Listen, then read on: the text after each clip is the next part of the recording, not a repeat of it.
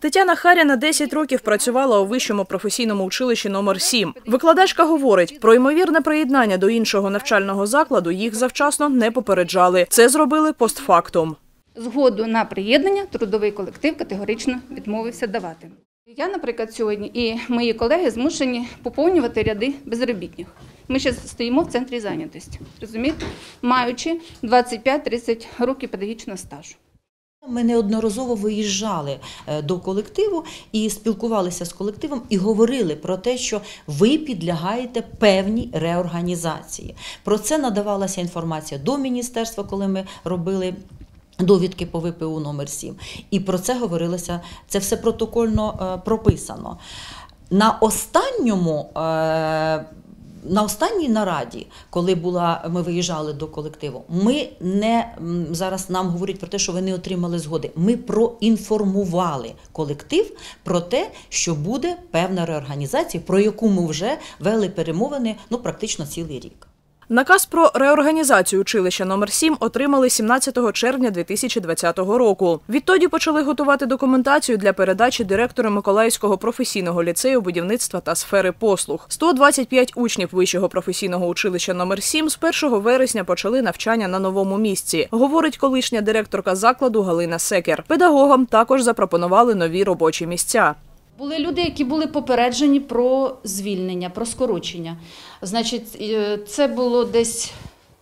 Це не тільки педагогічні працівники, сюди входила і бухгалтерія, і е, адміністрація, інженер з охорони праці. Вісім чоловік були попереджені про скорочення, е, і вони були звільнені. Ми запропонували роботу абсолютно всім працівникам сьомого училища, хоча я відверто хочу сказати, що 9 осіб відмовились. Чому? Тому що дев'яти особам ми не змогли запропонувати ту ж посаду. Після отримання наказу про реорганізацію сьомого училища на зборах колективу вирішили подати до суду. Хочуть, аби рішення про поєднання двох закладів відмінили. На сьогоднішній день справа знаходиться в суді у нас. Е, Заяву про забезпечення позову нам не задовольнили, але провадження відкрите. Але на сьогоднішній час там є проблеми в самому суді, тому ми чекаємо. Данило Селезньов закінчив перший курс у вищому професійному училищі номер 7 На другий курс перевели до нового навчального закладу. Там и там практично. Там і там нормально, але тут трошки краще. Сучасне обладнання, класи для моєї професії доволі нормальні. Тут має бути краще.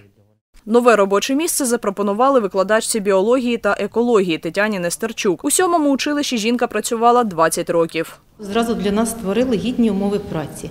Запропонували нам максимальне навантаження, запропонували нам кабінети, дали нам групи, класне керівництво. Тобто ми не відчули ніяких, е, ну можна сказати, ущімлень да, зі сторони адміністрації. Директор ліцею будівництва та сфери послуг Олександр Машков говорить, на базі цього навчального закладу діти отримують якісніші навчальні послуги. В нашому навчальному закладі 29 майстерень кабінетів. Три в роботі. От зараз я нові роблю під нові професії, ще три. Там 15 кабінетів, лабораторій, майстерень, все в одному 15. Я вам приведу такий приклад. Жодного викладача там не було. По загальноосвітним дисциплінам дається середня освіта. Математики, фізики, хімії, інформатики, історії. Ну, вибачте, ну як можна давати середню освіту? У Миколаєві на сьогодні в стадії реорганізації шість навчальних закладів професійно-технічної освіти. Основна мета професійної освіти це надання якісних послуг. Це основна мета. Ми зможемо конкурувати з іншими навчальними закладами. Ми зможемо бути конкурентно спроможними на ринку праці тільки завдяки якісним нашим освітнім послугам.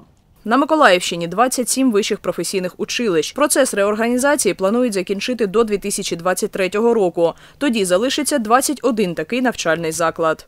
Той план, який у нас є до 23-го року, підтвердили всі директори і сказали, що ми повинні продовжувати оптимізацію мережі, тому що це вимога сьогодення. Не об'єднаними буде дуже багато закладів. Валентина Гурова, Сергій Куропятник, Василь Філімон. Новини на Суспільному. Миколаїв.